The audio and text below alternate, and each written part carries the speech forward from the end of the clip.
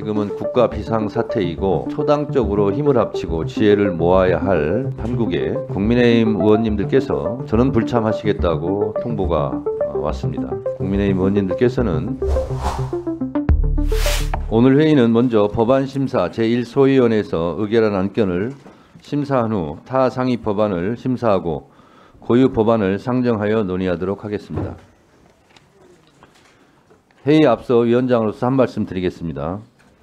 대한민국 헌법 제77조 1항은 대통령은 전시 사변 또는 이에 준하는 국가 비상사태에 있어서 병력으로서 군사상의 필요에 응하거나 공공의 안녕 질서를 유지할 필요가 있을 때에는 법률이 정하는 바에 의하여 계엄을 선포할 수 있다고 되어 있습니다.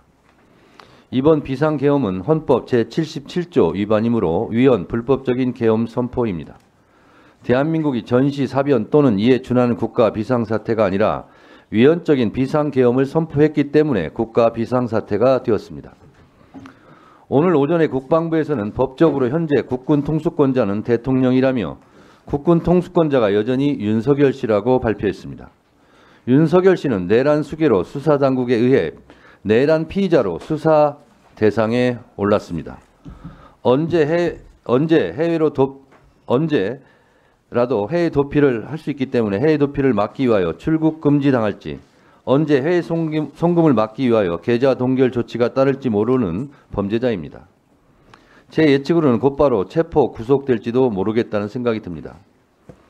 한덕수 국무총리는 개헌법 제2조 6항 국방부 장관 또는 행정안전부 장관은 제2항 또는 제3항에 해당하는 사유가 발생할 경우에는 국무총리를 거쳐 대통령에게 계엄의 선포를 건의할 수 있다고 되어 있어 서 한덕수 총리 역시 내란 공범으로 수사를 받아야 하는 상황입니다. 구속되어 있는 전 국방부 장관 김용현 씨가 한덕수 국무총리를 거쳐서 계엄 건의를 제안했는지 이럴 때 어떻게 행동했는지 국무회의 때 비상계엄에 동의했는지 여부가 모두 수사 대상입니다. 한덕수 씨는 국무총리 국무총리도 즉각 한덕수 씨도 국무총리를 즉각 탄핵해 그 지위를 박탈해야 된다는 주장도 높습니다. 그야말로 대한민국은 총체적 위기 상황이고 비상사태입니다. 만약 국회가 즉시 비상계엄을 해제하지 않았다면 이재명 대표, 한동훈 대표, 우원식 국회의장은 물론 저 정청래 법사위원장도 체포되어 고문 폭행을 당했을 것입니다. 여기 계신 여야 법사위원 국회의원들도 체포되어 구금되었을 것입니다. 생각만 해도 아찔하고 살떨리는 12월 3일 서울의 밤이었습니다. 이런 국가 비상사태에 국회라도 제정신을 차리고 하루빨리 국정 안정을 되찾는데 초당적으로 힘을 합쳐야 되겠습니다. 지금 가장 위험한 요소는 아직도 꺼지지 않고 있는 불씨, 즉 국지전이라도 일으켜 제2의 전시 비상계엄을 선포하지 않겠느냐는 불안과 공포입니다.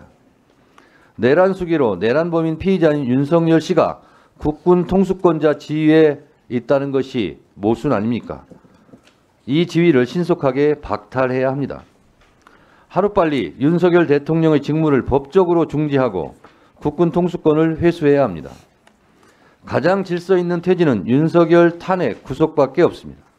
이런 점에서 비상계엄 해제 요구한 표결과 윤석열 탄핵 표결에 불참한 국회의원들은 국민적 분노와 심판을 면하기 어려울 것입니다.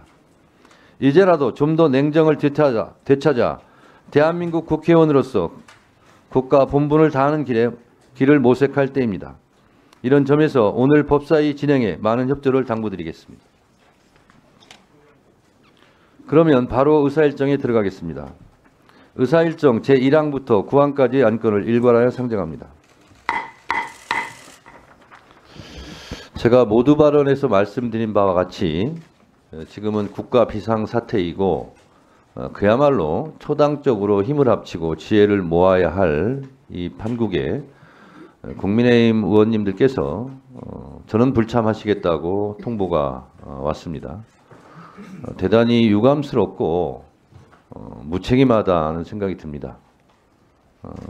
국민의힘 의원님들께서는 오늘 회의가 불편할 수 있습니다만 어, 그럼에도 불구하고 어, 그런 불편함보다 더 한 차원 뛰어넘는 어, 국가의 비상사태를 어떻게 극복할 것인가 하는 부분에 있어서 어, 지혜를 모아주시는 차원에서 어, 조속히 회의에 참석해 주실 것을 어, 당부드립니다.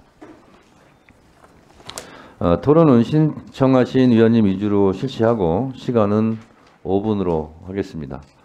우선 오늘 토론을 다 하실 것 같은데 다 아시겠죠? 그러면 토론 순서지에 따라서 하도록 하겠습니다.